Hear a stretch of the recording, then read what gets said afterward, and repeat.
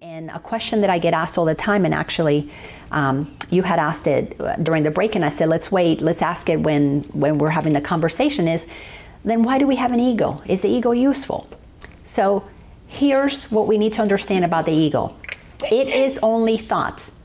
Are thoughts useful? Yes, they are, because we need thoughts to begin to operate with each other. But this is what is not what is not useful about the ego is that they are thoughts that block the truth. So the ego is nothing more than thoughts. Is it useful? They're thoughts. You can decide what thoughts work for you, but it is not helpful to live your life with misinformation. To have information in my mind that says that I am, you know, insufficient because I wasn't a boy is not a useful thought. Not useful at all. So, do I want to hold on to that thought? No. So, when you no longer give power to a thought, that dissolves. It's an illusion because it's not really real, it's not tangible. Is, is an energy that is, is condensed. And when you release that energy, it's energy that gets put back in motion. So, there's a lot of work that has to be done in understanding our thoughts, understanding what God is. And as you begin to understand your thoughts and understand what God is, as you release a thought that's not true, you get to feel more of the reality of God. But you cannot feel God while you block it with thoughts that are not true. So the process for me to get to really feel love is was a, a beautiful, beautiful um, you know, life is going to give us opportunities to feel truth all over the place, as well as opportunities to feel what's not true. Because we're bumping up against what's not true all the time. Why? God wants us to get out of that hole. And God wants us to get out of that hole because God created us to give and receive love. And the Course tells us God is lonely waiting for us to receive its love because God is here all by itself waiting to be extended. And when we suppress love, we suppress God. So let me share a, an example and then we'll go to questions of how I began to feel love. So when I was going through, um, let me think, it was Halloween night, and I, I can't remember exactly what year it was, but this was at a time when I was beginning to have memories of, of why I had my relationships were the way that they were. And I was beginning to piece things together and begin to question my thoughts. And my thoughts were leading me to, to feelings of abandonment. And this was shortly after my mom passed away, about two years. It took me about two years to begin to realize that so much of my fear, besides death, was I was angry my mom abandoned me and my mom abandoning me, once I, I pieced that together, wow, mom abandoned me, then all of a sudden I began to feel dad did too. So the abandonment of my mom's death began to trigger the abandonment of my dad. At the same time that I'm beginning to have these memories, my dear, dear friend, my best friend who lived right across the street from me, she had gone through a divorce and she had met a new man. And as I'm feeling this abandonment from my dad, she's entering into this deep relationship with, with her boyfriend. Guess what's happening? Guess who she doesn't have time to be with? Me. So I'm feeling abandoned by her as I'm, I'm beginning to process the abandonment of my father. So, as life would have it, a very intelligent power that's moving us all to bump up against each other so we can uh, uh, release the our ego because the ego is like a shell that we have built around ourselves. So what is God in its infinite knowledge doing? It's making all of us our shells, you know, bump up against each other so they'll crack. But they won't crack unless we allow the cracking because we're the ones who have to let the light in. Um, so we're the ones that have to be willing to open the shell. So here, Halloween night, my sweet little children are off with their dad, uh, trick or treating, and my friends um, former husband had come over to take their daughters trick or treating. So she's across the street handing out candy, and I'm across the street handing out candy. We weren't more than, you know, I, I don't know how far that is 60 feet, 70 feet. You know, it's a typical subdivision, all those row houses. So I'm watching her over there, and I'm having this feeling of my dad abandoning me. And then all of a sudden, her new boyfriend walks in. He, I saw his car pulled in. He must have gone up through the garage, and then he comes out the front door right behind her, and I'm watching. And where she was looking at me and we were waving at each other, all of a sudden he comes in, sits next to her, and her attention turned to him. In that moment, I felt abandoned. The second that I fe- felt that abandonment, I went, I had that feeling of this little girl totally abandoned by my dad. And as I'm sitting watching what was happening in front of me, I, in that moment, began to realize my dad didn't abandon me because he didn't love me. My dad found some other woman to love, so he went towards love. He went towards love. He was honest enough with himself to say, I'm not in love with my mom, I'm in love with this woman. So he honored something inside of me. There was a movement that had him fall in love with somebody else. So when I saw my friend falling in love with this new man, in that moment, I fell in love with my dad all that love that was inside of me began to pour. I had so much love coming from me. I began to love my friend for the lesson she gave me. I began to love this man for loving my friend. I began to feel this incredible love for my, my dad. I began to feel love inside of me. And that's when I realized I'm made of love. And God is love. And I'm feeling love. And I am God. God is love. I am love. God and I became one in that moment. And it, I'm sure it scared little trick or treaters to death because I'm passing out candy and I'm bawling and crying. Oh and the kids are coming from the neighborhood. The parents, are you okay? I'm like, I'm, I'm feeling love. Here, have a Trix, you know, have a have a um, Twix or whatever it is. You want M&Ms? Um, and there were moments that I was so engulfed in so much incredible, it, just this experience what it gave me also at the time. Haven't you guys had moments where you had realizations and all of a sudden the pieces begin to make sense? In that moment i realized as these little kids came up to me in their costumes i realized i've been wearing a costume all those years. I've been wearing a mask. I was pretending to be this tough cookie that doesn't need a man when all i really wanted was to love my dad. I wanted my dad to want me and I stopped wanting my dad to prove to him I don't need you. All the while, all I was doing was blocking myself from being the presence of love and saying, you know, dad, that's okay. If you want to be happy, go be happy. But at 10 years old, that's not how I was raised. So it's so amazing. Shortly thereafter, I ended up getting divorced. And when I went to my youngest son, who at the time I think what was he eight years old, I went and I said, all right, sweetie, you know, mommy and daddy are getting divorced. And he said to me, that's okay, mommy. You and daddy are like two cars on the highway and you're both going, uh, you know, in parallel roads and your road's going this way, his is going that way. It's okay. And I went, oh, wow. When you raise somebody to know that their truth is inside of them, they don't let what's outside of them affect them.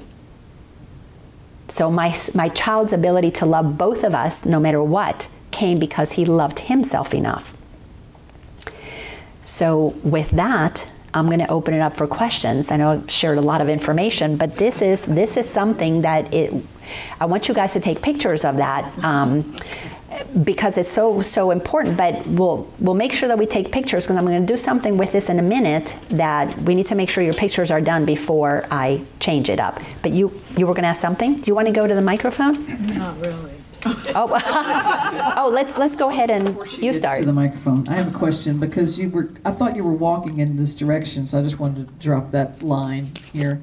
We're making wrong use of the word. We're making things because when I've read the Course in Miracles, it speaks to that making, mm-hmm. and there's a place that um, I just wanted you to address that knowledge, knowing versus perceiving. Mm-hmm. we may not be there, which I'm fine with that too.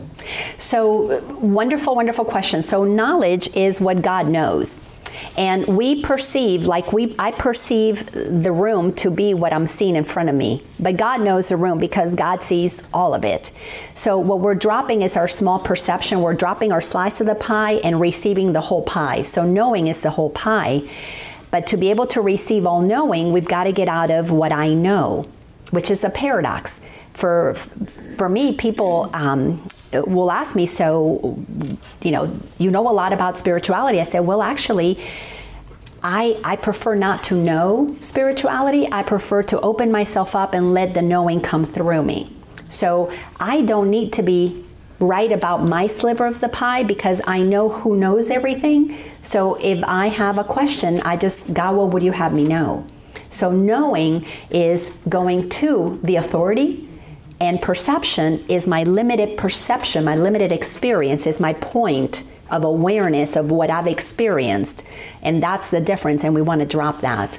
And then this making the, the difference between creating and making is God created everything and we're we're making stuff up. So for example, we make buildings up but they change, they crumble, they fall apart. Nothing that man has created is going to stand forever as what God created. So God creates what's permanent and we make use of what God created and we make up stuff. So we make up religions, we make up um, buildings, we make up categories about people, we make up careers, we, we make stuff up. We make up our identity, and that's what we are having to realize is that we've made up something that's not doesn't alter God, but it doesn't alter who we are. When I take off my mask, the true me is still there.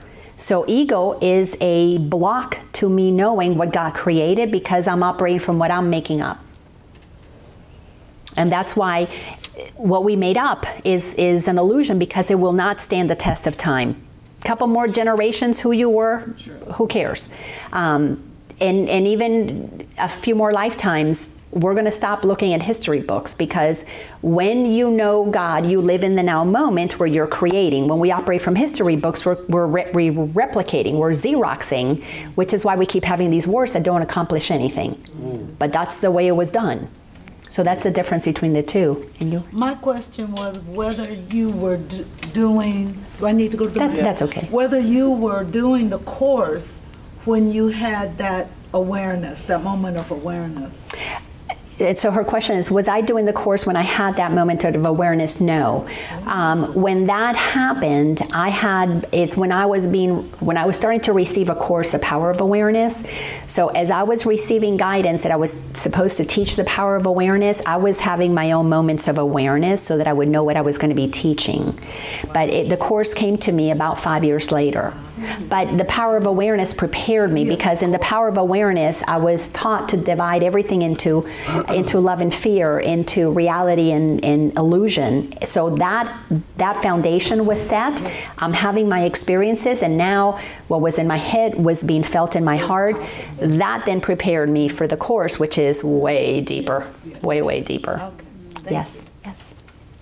I have so many questions. Um, I was wondering if you might um, talk a little bit more about God creating a son or another mm-hmm. to experience love. um, I'd love to know more about that because that seems so limit. I, I guess limiting. You would think that God would say, "I am love. I am whole." What would be the need to create something to mirror it back? And the course says it's just for giving and receiving, for the joy of extending, for the joy of extending. And so God creates us so that we can then extend love, so that the game can continue in infinity. And because it's infinite possibilities, it creates. So when you begin to expand your mind and you begin to realize that we're not the only ones out in the universe, that then then God has created some so many infinite beings, all to extend love because because what is love so if you were, are you a loving person? Do you feel you're loving? Yes. Do you enjoy sharing that, or would you be okay if you never no. had anybody else around you? No, and that makes total sense to me. And I guess I'm trying to make that connection because my human brain, my ego, says, mm-hmm. well, it makes total sense. Yeah. When I think of God in infinite and wholeness, I think, why would you need another to have it come back? Yeah. So I'm just trying to get that some yeah. understanding around that. And, and just, just simplify it. How fun would your life be if, if you were in a desolate desert, nobody else around, nothing to share that with? Yeah. And maybe that's a great way to think about it. It's it's God's desire to have that share mm-hmm. because I it's one and the same. So that yeah, I'm just trying to get my arms around like, hmm, why would that be necessary? But also because God extends through us. Right. So it creates and creates, you know, rocks Right. are energy expressing love. Right. So are grains of sand, so are trees. All of that knows what it is and extends. We are the only ones who suppress.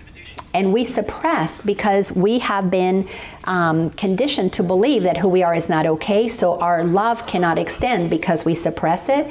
But that's what we're discovering is it's a lot more fun to extend it. Right, no, that makes sense, thank you for that. And then one last thing Of is course. that um, my mind, um, my ego-driven mind wants to wonder why our right side of the column, as you're standing looking, our reality, how my ego can say that's not a copy. Yeah. Well, your ego would like to say that, yeah. Right, it- so what does the course say about that?